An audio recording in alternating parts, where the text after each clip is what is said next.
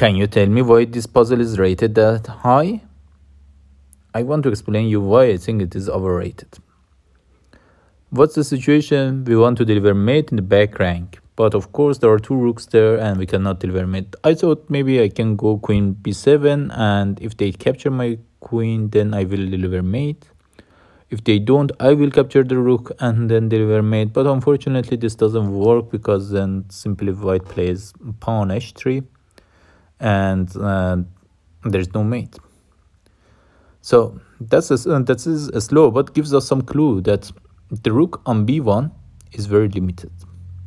For example, if it goes to a1, we immediately capture it with a queen and then deliver mate. What to do? Kick that rook away, right? With which piece?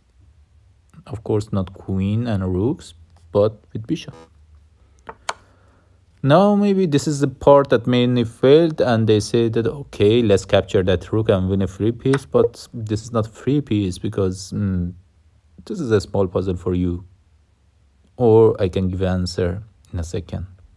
Because uh, white gives a check at b6 and then delivers mate with the queen at c4 so we don't capture that rook. Instead we should move the king somewhere sensible where do you put the king? Of course you don't want to go to somewhere that you will be mated and you block your pass or uh, rook pass.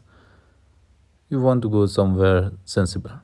Where there is only one place left right? Not many choice b7 and this is a free piece and white doesn't have any uh, further check. So was it hard or just overrated? Let me know in the comments